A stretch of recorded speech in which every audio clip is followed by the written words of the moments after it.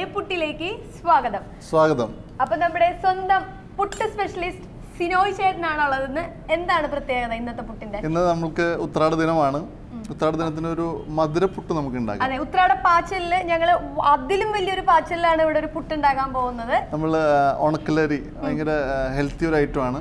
ഉണക്കലരി നമ്മൾ അരി കഴിക്കുന്നെങ്കിൽ ഉണക്കലരി കഴിക്കണമെന്നാണ് പൊതുവെ പറയപ്പെടുന്നത്. പുട്ടിൽ ഉണക്കലരി വിളയിച്ചിട്ട് ശർക്കരയൊക്കെ ചേർത്തായിരിക്കും ശർക്കര കുറച്ച് ഏലക്കായ പൊടിച്ചതെല്ലാം ചേർത്ത് ഫ്ലേവർ ആക്കിയിട്ട് പായസം ടേസ്റ്റിലാണ് പായസം ടേസ്റ്റ് ആണ്. പായസം ടേസ്റ്റിലാണ് ഇന്നത്തെ പുട്ട് പായസം എന്ന് പറയാൻ വേണമെങ്കിൽ ഓണത്തിന് മധുരമുള്ള ഒരു പുട്ട് എന്നൊരു ചിന്ത എന്റെ മനസ്സിലുണ്ടായിരുന്നു. നമ്മൾ മധുരമുള്ള പല പുട്ടുകളും നമ്മൾ ഓൾറെഡി ദേപ്പുട്ടിൽ കൊടുത്തിട്ടുണ്ട്. എന്നാൽ അതിൽ നിന്ന് മാറിയിട്ട് നമുക്കൊരു പുട്ട് വേണം. അങ്ങനെ ആലോചിക്കുമ്പോഴാണ് നമ്മൾ കർക്കിടക മാസത്തിൽ മരുന്ന് പുട്ട് കൊടുത്തിരുന്നു അത് ഉണക്കലരി വെച്ചിട്ടാണ് കൊടുത്തിരുന്നത്. ആ ഉണക്കിലരിയെ നമ്മൾ മധുരത്തിൽ അതായത് ഉണക്കിലരി വിളയിച്ചിട്ട് പുട്ടിൽ സ്റ്റഫ് ചെയ്തിട്ട് ഒരു പുതിയ കോമ്പിനേഷൻ ഉണ്ടാക്കുകയാണ് ചെയ്തത്. അരി വിളയിച്ച് ശർക്കര പാനിയിൽ വിളയിച്ച് നമ്മൾ വീട്ടിലൊക്കെ ചെയ്യുന്ന പോലെ പായസം ഉണ്ടാക്കാൻ വേണ്ടിയാണ് നമ്മൾ മെയിൻ ആയിട്ട് അതൊക്കെ ചെയ്യുന്നത്. അത് പുട്ടിലൂടെ കൊടുത്തിരിക്കുകയാണ്. അപ്പം നമുക്ക് ശരിക്കും ഒരു മധുരമുള്ള ഒരു പുട്ട് അതിന്റെ കൂടെ ഇവരുടെ സ്പെഷ്യൽ ചായയും കൂടിയും കുടിക്കുമ്പോഴത്തേനും നമുക്കിനി ആ നേരം വേറെ ഒന്നും കഴിക്കണ്ട. ഉണക്കലരി വളരെ ന്യൂട്രീഷൻ വാല്യൂ കൂടുതലുള്ള ഒരു പുട്ടാണ്. ഉണക്കലരി മീൻസ് ബോയിൽ ചെയ്യാതെ ഉണക്കിയെടുത്ത് കുത്തിയെടുക്കുന്ന അരിയാണ് ഉണക്കലരി. അതിൽ നമ്മൾ കഴിക്കുമ്പോൾ അതിനൊരു സ്പെഷ്യൽ ടേസ്റ്റ് തന്നെ ആദ്യമേ തന്നെ അരിക്കുണ്ട് അരി ടേസ്റ്റിന് അതുപോലെ തന്നെ അതിൽ നമ്മൾ ചേർക്കുന്ന ശർക്കരയും തേങ്ങാപ്പാലും ചേർത്തിട്ടുള്ള ഒരു കോമ്പിനേഷനാണ് നമ്മൾ ഈ ഉണക്കലരി വിളയിക്കാൻ ഉപയോഗിക്കുന്നത്. മധുരം കഴിക്കാതെ മലക്കം പറഞ്ഞാൽ മധുരിക്കും ഓർമ്മകൾ മാഞ്ഞു പോകും എന്നാണ്. അപ്പോൾ അതായത് നമ്മുടെ മലയാളികളുടെ ഒരു രീതി വെച്ച് നോക്കുമ്പോൾ നമ്മൾ എന്തായാലും ഭക്ഷണത്തിന് ശേഷം അല്പം മധുരം ഏതെങ്കിലും ഒരു രീതിയിൽ കഴിച്ചിരിക്കണം. അപ്പോൾ ഈ പുട്ടിന്റെ കൂടെ മധുരം കൂടി ആകുമ്പോൾ നമ്മൾ വേറെ മധുരം കഴിക്കേണ്ട ആവശ്യമില്ല. ഇത് തന്നെ അങ്ങ് കഴിച്ചാൽ മതി. ഓക്കെ അപ്പോൾ നമുക്ക് തുടങ്ങാം. തുടങ്ങാം. അപ്പോൾ അതിന് വേണ്ടിയിട്ട് നമ്മുടെ വിഭവങ്ങൾ. ഉണക്കലരിയാണ്. അത് കുതിർത്തി വെച്ചിരിക്കുകയാണ്. വേണ്ട ഒരു രണ്ടു മണിക്കൂർ കുതിർത്തി അപ്പൊ പെട്ടെന്ന് കുക്ക് ആവുകയും ചെയ്യും. റൈസ് സോഫ്റ്റ് ആകും വേണ്ട, പിന്നെ നമ്മളുടെ ഗോതമ്പ് പൊടി. അരിപ്പൊടി. തേങ്ങ. പിന്നെ ശർക്കര ഓൾറെഡി ഉരുക്കി വെച്ചിരിക്കുകയാണ്. ഇതൊക്കെ നമ്മൾ നേരത്തെ ചെയ്ത് വെച്ചാലാണ് ഈ സംഭവം ഉത്രാടപ്പാച്ചിൽ നല്ല സ്പീഡോട് കൂടിയിട്ട് നമുക്ക് ഉണ്ടാക്കാൻ പറ്റുള്ളൂ. നമുക്ക് തുടങ്ങാം. നമുക്ക് അതിന് വേണ്ടിയിട്ട് ആദ്യം റൈസിന് ഒന്ന് നെയ്യിൽ വിളയിച്ചിട്ട് ബോയിൽ ചെയ്തിട്ട് ചെയ്തെടുക്കും. നെയ്യ് പഴം എല്ലാം ഉണ്ട് ഇവിടെ. അരി നെയ്യിൽ വിളയിച്ചിട്ടാണ് നമ്മൾ പുട്ടുണ്ടാക്കുന്നത്. പുട്ടിൽ നമ്മൾ ഈ അരി വിളയിച്ചത് ഇടയിൽ ഫിൽ ചെയ്തിട്ട് തേങ്ങ പോലെ ഇടയിൽ അരി വിളയിച്ചത് മധുര മധുരക്കൂട്ടായിട്ട് കഴിക്കാം. ഓണം സ്പെഷ്യൽ വിഭവമാണ്. നെയ്യ് ചൂടാവുമ്പോ ഇതിന് ഈ നെയ്യ് ചൂടാകും അരി ഒന്ന് ജസ്റ്റ് ഒന്ന് വിളയിക്കുക അപ്പോൾ എല്ലാ അരിയും സെപ്പറേറ്റ് ആയിട്ട് കിട്ടും റോസ്റ്റ് വ- ചെയ്തെടുക്കുന്ന roast പോലെ ഓക്കെ.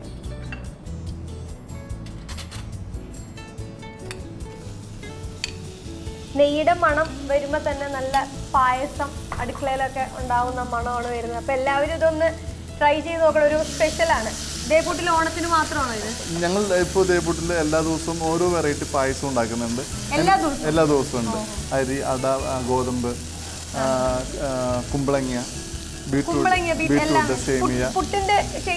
അല്ല അല്ല. പായസം നോർമൽ പോലെ പായസം പ്രേമികൾക്കും നമ്മുടെ കേരളത്തിന്റെ ഒരു ഐറ്റം ആണല്ലോ പായസം. അപ്പൊ പുട്ട് കഴിച്ച് കഴിയുമ്പോൾ നിങ്ങൾ പായസം കൂടി ആഡ് ചെയ്യണം എന്ന് പറഞ്ഞതിൽ ഇതിന്റെ പുറത്താണ് കസ്റ്റമേഴ്സിന്റെ അഭിപ്രായത്തിൽ നിന്ന് വാങ്ങിച്ചാണ് ഇവർ എല്ലാ ദിവസവും ഇവിടെ ഒരു സ്പെഷ്യൽ പായസം കുമ്പളങ്ങ വെച്ചും ബീറ്റ്റൂട്ട് വെച്ചൊക്കെയാണ് ഓരോ ദിവസം ഓരോ വെറൈറ്റിയിലാണ് ഇവിടെ പായസം പോകുന്നത്. അപ്പൊ എന്തായാലും നമ്മുടെ അരി ഇവിടെ വിളഞ്ഞുകൊണ്ടിരിക്കുകയാണ്. വെള്ളം ചേർക്കാം. റൈസ് ഒന്ന് റോസ്റ്റ് ആയിട്ടുണ്ട്. ഇനി ഒന്ന് അരി വേവുന്ന വരെ അതിനുള്ള ആവശ്യമുള്ള വെള്ളം നമ്മൾ ഓക്കെ അപ്പൊ അരി ഇങ്ങനെ പാനിൽ ആദ്യം നെയ്യിൽ വഴറ്റിയതിന് ശേഷം പിന്നെ വെള്ളം ഒഴിച്ച് നമ്മളൊന്ന് വേവിക്കണം. എത്ര എത്ര സമയം? ഒരു ഉണക്കലരി പെട്ടെന്ന് വേവും. ഒരു പത്ത് പതിനഞ്ച് മിനിറ്റ് പുത്രാടപ്പാച്ചിലൊക്കെ എല്ലാവരും ഓടി അങ്ങോട്ടും ഇങ്ങോട്ടൊക്കെ ഓണം വളരെ മനോഹരമാക്കാൻ വേണ്ടിയിട്ട് ഓടി നടക്കുന്ന ഈ സമയത്ത് ഞങ്ങളിവിടെ ഒരു ഉത്രാടപ്പാച്ചിൽ പുട്ട് പായസമാണ് റെഡിയാക്കുന്നത്. പായസപ്പുട്ട് ഒരു ഡെസേർട്ട് പോലെ കഴിക്കാം എസ്പെഷ്യലി പിന്നെ വൈകുന്നേരം സമയങ്ങളിൽ ഇതുപോലെ എന്തെങ്കിലും ഒരു പുതിയ പുതിയ പരീക്ഷണങ്ങൾ വേണം നമ്മൾ ചെയ്യാനായിട്ട്. ഞങ്ങൾ ഇവിടെ എല്ലാ ഭക്ഷണവും പുട്ടിലൂടെ എങ്ങനെ കൊടുക്കാം എന്നതിനെ കുറിച്ചിട്ടാണ് ഞങ്ങൾ അതാണ് ദേ പുട്ടിന്റെ ഏറ്റവും വലിയ പ്രത്യേകത. എന്ത് ഫുഡ് ആയാലും അത് പുട്ടിക്കൂടെ എങ്ങനെ കൊടുക്കാം? അല്ലെങ്കിൽ പുട്ടുകടയിൽ നിറച്ച് ഇവരിവിടെ എന്തും കൊടുക്കുള്ളൂ.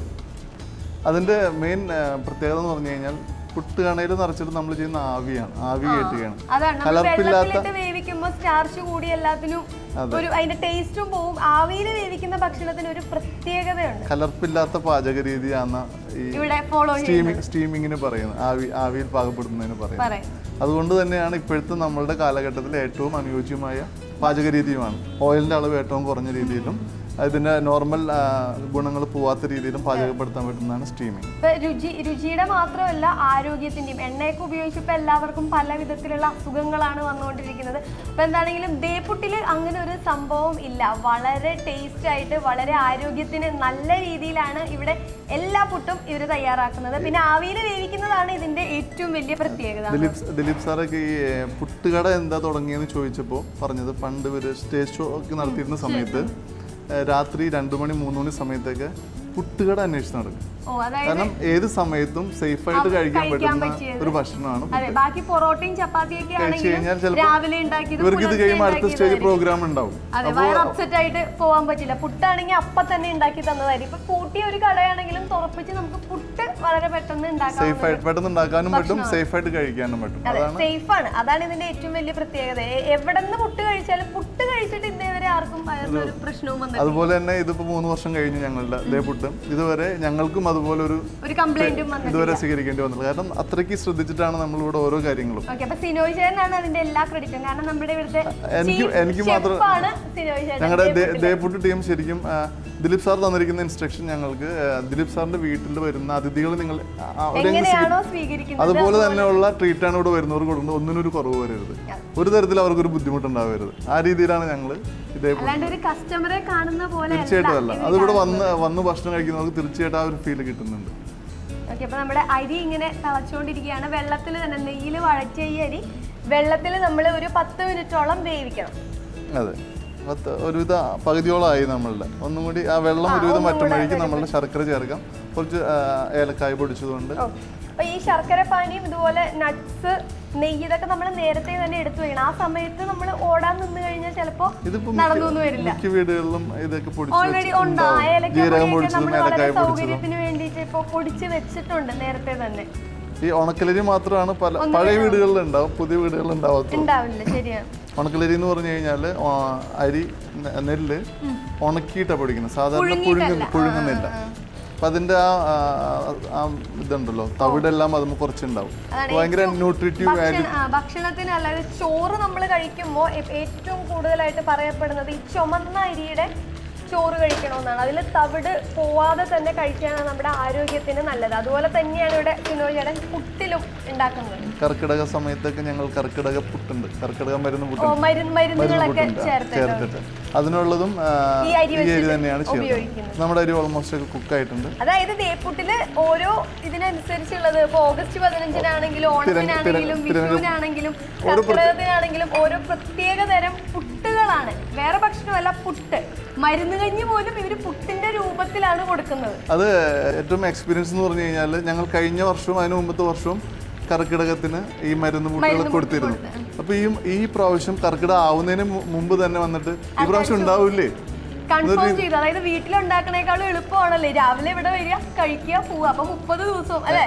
കർക്കിടക കഞ്ഞി പോലെ കർക്കിടക പുട്ട് ഇവിടെ കിട്ടും. ഞങ്ങൾക്ക് കുറച്ച് റെഗുലേഴ്സ് ഉണ്ട്. അവർ സ്ഥിരം വരുന്നവരാണ്. അപ്പോൾ അവർ ഈ മരുന്ന് കഴിഞ്ഞ് ഒരു മാസം ഫുള്ള് കഴിച്ച അവർ വരെയുണ്ട്. പത്ത് ദിവസം കഴിച്ചാലാണ് അതിന്റെ കറക്റ്റ് എഫക്ട് കിട്ടാന്ന് പറയുന്നത്. മൂന്ന് ദിവസമല്ല. പത്ത് ദിവസം. പത്ത് ദിവസം പത്ത് ദിവസമാണ് മരുന്നിന്റെ ഒരു പീരീഡ് പറയും ഒട്ടും പേടിക്കേണ്ട. പുട്ടിൽ മരുന്ന് പുട്ട് റെഡിയാണ്. മുപ്പത് ദിവസം. കർക്കിടകത്തിന്റെ മുപ്പത് ദിവസങ്ങളിൽ നമ്മൾ മുപ്പത് ദിവസവും ഇവിടെ മരുന്ന് പുട്ട് റെഡി ആയിരിക്കും നമ്മളുടെ അരി നമുക്ക് നമ്മുടെ ശർക്കരയും അതിലേക്ക് ചേർക്കാം. ശർക്കര പാനിയൊക്കെ നമ്മൾ നേരത്തെ എടുത്തു വെക്കണം. ആ സമയത്ത് ഉരുക്കാൻ പോയി കഴിഞ്ഞിട്ടുണ്ടെങ്കിൽ റെഡിയാവൂല മധുരം ആവശ്യം അനുസരിച്ച് നമ്മുടെ വീട്ടിലെ ആൾക്കാരൊക്കെ എത്രത്തോളമാണ് മധുരം കഴിക്കുക എന്ന് നമുക്കറിയാം. അപ്പൊ അവരുടെ രീതിക്ക് അനുസരിച്ച് വേണം നമ്മൾ ഉണ്ടാക്കുമ്പോൾ ഇത് ആഡ് ചെയ്യാനായിട്ട്. ശർക്കര പാനി ചേർക്കുമ്പോൾ തന്നെ അതിന്റെ ഒരു കളർ അതായത് നമ്മുടെ പായസം ചക്കര പായസത്തിന്റെ ഒരു നിറത്തിലേക്ക് വന്നിട്ടുണ്ട്. ഇത് പിന്നെ പുട്ടിന്റെ ഷേപ്പിൽ വരും അതെ അതെ. കാണുമ്പോൾ നമുക്ക് തോന്നും വലിയ പായസം പോലെ വരുന്നത് പക്ഷെ നമ്മൾ പായസം അരി വിളയിച്ചിട്ട് പായസം ആ, പായസം അല്ല അരി വിളയിച്ചിട്ട് അത് പുട്ടിന്റെ ഇടയിൽ നമ്മൾ ഫില്ല് ചെയ്തിട്ടാണ്. അതെ. നമുക്ക് ഇതിലേക്ക് കുറച്ച് തേങ്ങ ആഡ് ചെയ്യാം. ഇടയിൽ തേങ്ങ വരുന്ന അരിയിലോട്ട് നമ്മൾ തേങ്ങയും കൂടെ ചേർക്കണം ഒരു സ്പൂൺ മതി അല്ലേ? തേങ്ങ വളരെ കുറച്ച് മതി. നമ്മളുടെ ഫ്ലേവറിങ് ചുക്കും ജീരകം കൂടി പൊടിച്ചതാണ്. ഇതിന്റെ ഇടയിൽ ആ ജീരകത്തിന്റെ ഫ്ലേവർ ഒന്ന് ഒന്ന് നന്നായി. ശരിക്കും ഒരു പായസത്തിന്റെ പോലെ തന്നെ. ഏലക്കായ പൊടിച്ച് ഏലക്ക പൊടിച്ചത് ചുക്കും ജീരകവും പൊടിച്ചത് ഇതൊക്കെ ഒരു മണത്തിന് വേണ്ടിയിട്ടാണ് അല്ലെങ്കിൽ പായസത്തിന്റെ ആ ഒരു ഇത് വരാൻ വേണ്ടിയിട്ടാണ്. അപ്പൊ ആവശ്യം മണം വരുന്നുണ്ട് ഇപ്പൊ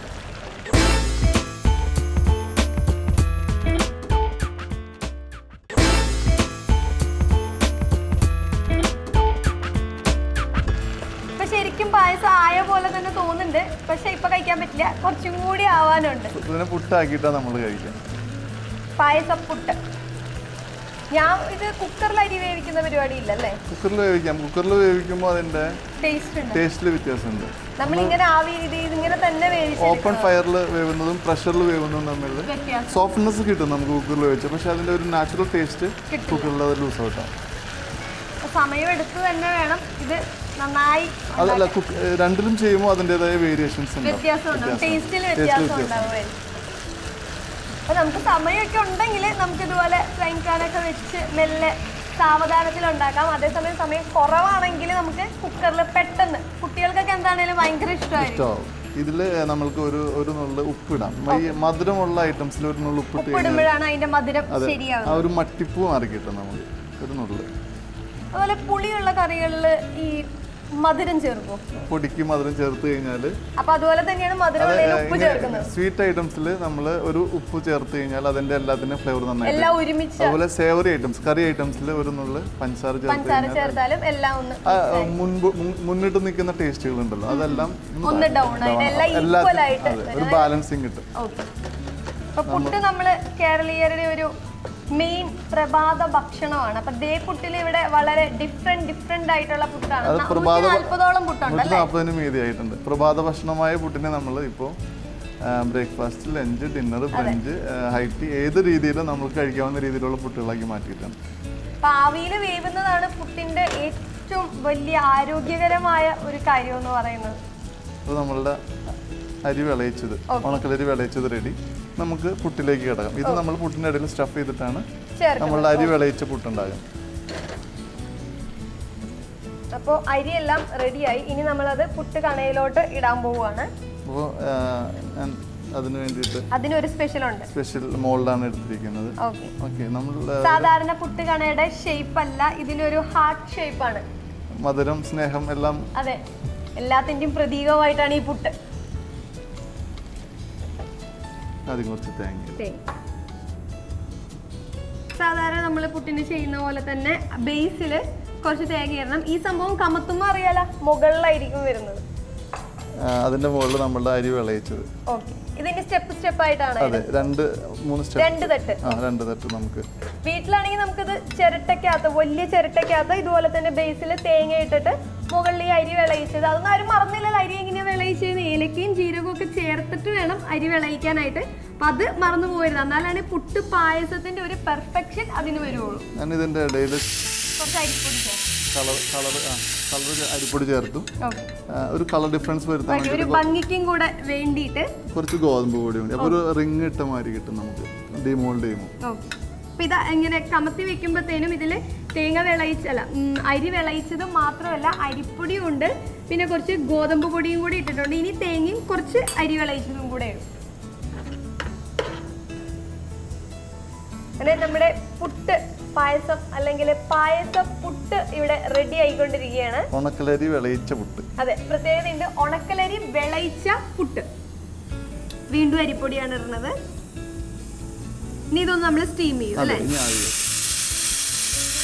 നമ്മളുടെ കുക്കർ വിളിച്ചു തുടങ്ങി നമ്മളെ വെക്കി വെക്കുന്നു വേഗം വായോ വേഗം വായോ സമയം അതിക്രമിക്കുന്നു. ഇതിന് വേണ്ടി പ്രത്യേകം പറഞ്ഞുണ്ടാക്കിയതാണ് ഒരു ആറ് ഏഴ് വെറൈറ്റി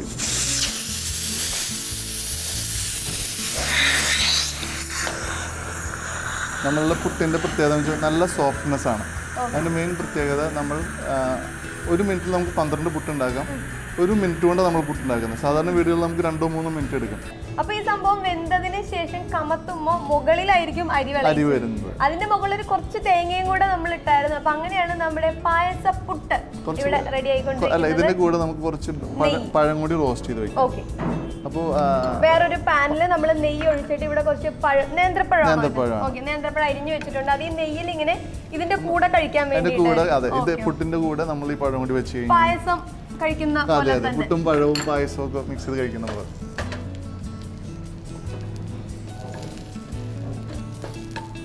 ഇപ്പൊ ഈ ഇത് ഇവിടെ കസ്റ്റമർക്ക് കൊടുക്കുമ്പോഴും ഇങ്ങനെ തന്നെയാണ്. അതെ അതെ. പഴം കൂടെ ഇതായിട്ടാണ് കൊടുക്കുന്നത്. പഴം ചോദിക്കുന്നവർക്കെല്ലാം നമ്മൾ പഴം കൊടുക്കുന്നുണ്ട്. പുട്ട് കൊടുക്കും. അവരപ്പോ ചിലവർക്ക് ഒരു പഴം കൂട്ടി കഴിക്കുന്ന താല്പര്യമുള്ളവരുണ്ടാവും. ചിലർ ചായ മാത്രം കഴിക്കുന്നവരുണ്ടാവും. ചായ കൂട്ടി കഴിക്കുന്നവരുണ്ടാവും. പപ്പടം കൂട്ടി. അവരുടെ ചോയ്സ് അനുസരിച്ച് നമ്മളിത് കൊടുക്കുന്നുണ്ട്. കസ്റ്റമർ എന്ത് പറയുന്നു? അതാണ് ഒരു പുട്ടിന്റെ രൂപത്തിൽ ദേ പുട്ടിലൂടെ കൊടുക്കുന്നത്. ശരിക്കും നമ്മളുടെ നമ്മളുടെ കസ്റ്റമേഴ്സ് ഒരുപാട് സപ്പോർട്ട് ചെയ്യുന്നുണ്ട്. അവർ പുതിയ പുതിയ ഐഡിയാസ് അവരുടെ താല്പര്യം. അതെ അതെ. ആഗ്രഹങ്ങൾ പറയും. അതുകൊണ്ട് തന്നെയാണ് ഞങ്ങൾക്ക് ഇത്രയും വെറൈറ്റി ഫുഡുകൾ ചെയ്യാൻ പറ്റിയത്. പല നമ്മളുടെ കസ്റ്റമേഴ്സും നമുക്ക് കിട്ടാത്ത വീടുകളിൽ മാത്രം കിട്ടുന്ന ഇൻഗ്രീഡിയൻസ്. അതുപോലെ റൈസ് നൂഡിൽസ് ക്യാരറ്റ് നൂഡിൽസ് അങ്ങനെയുള്ള ഒരുപാട് variety item home made items അതെ. അത് നമുക്ക് കൊണ്ടുവന്നിട്ട് ഇതുകൊണ്ട് പുട്ടുണ്ടാക്കി ഞങ്ങൾക്ക് തരൂ എന്നുള്ള രീതിയിൽ കാണുമ്പോൾ നമുക്കും പുട്ട് ഈ രീതിയിൽ ഉണ്ടാക്കി കൂടെ എന്നൊരു തോന്നലുണ്ടാവും. അപ്പൊ എന്തെങ്കിലും അങ്ങനെ ഐഡിയ ഉണ്ടെങ്കിൽ ഇവിടെ ദേപ്പുട്ടിൽ വരിക സിനോവിച്ചേന്റെ അടുത്ത് പറയാ.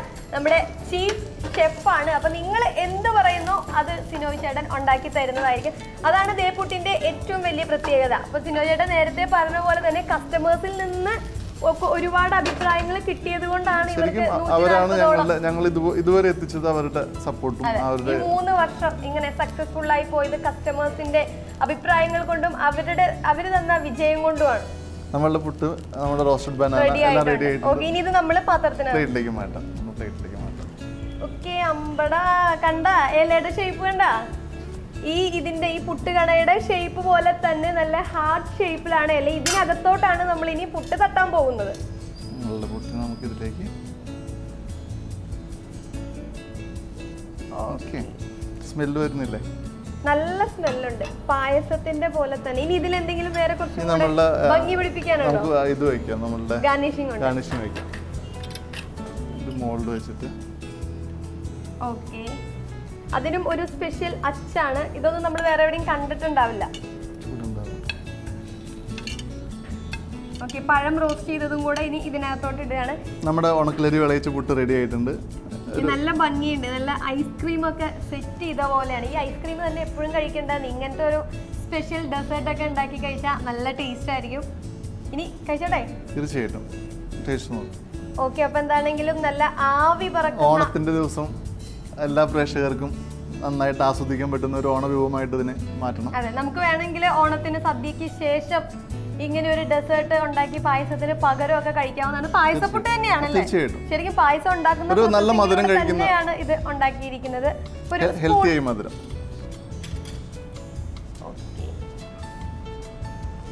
അപ്പൊ ഞാൻ കഴിക്കാൻ പോവാണ്. മണം കാരണേ അതേസമയം പറ്റുന്നു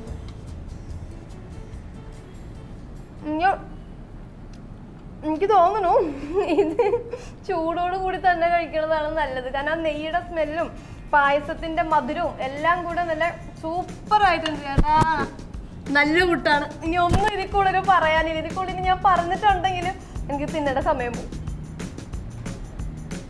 പഴമൊക്കെ മിക്സ് ചെയ്തിട്ടാണ് ഞാനിത് കഴിക്കണത്. ക്യാമറ ഒന്ന് മാറ്റിയിട്ട് വേണം എനിക്കിനി ഇത് ഫുള്ളായിട്ടൊന്ന് കഴിക്കാൻ വേണ്ടി. അത്രയും നല്ല സൂപ്പർ ആയിട്ടുണ്ട് ഈ പായസ പുട്ട്. എനിക്ക്